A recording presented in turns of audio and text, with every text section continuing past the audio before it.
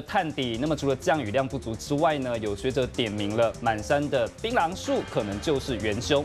不过面对这个指控，有立委就回击说，不要把在山区开垦的农民当成是毒蛇猛兽。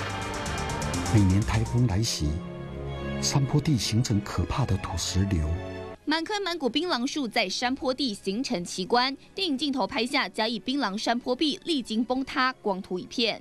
每年地下水的流失量。相当于十个石门水库。农民亲手摘下一颗颗槟榔，被视为重要的经济作物，年商机上砍八十亿元。浅浅的槟榔树根被学者点名，就是缺水元凶。那时候不缺水啊，可是现在的杉木林都跑到哪去了？变成槟榔树根哈抓地不是很深，它含量水土不够。笔直树干稀疏树叶，最高纪录台湾就有五点六万公顷槟榔树，二零一二年只剩大约四点五万公顷。学者痛批高达两万公顷都是违规种植，造成水土流失。涓涓的那个水流会会一直流嘛？可是我们现在不是啊，一下大雨，然后因为水土保持不好，就流到大海。我觉得对水土不好吧，还是不赞成种。对他本身身体也不太好吧。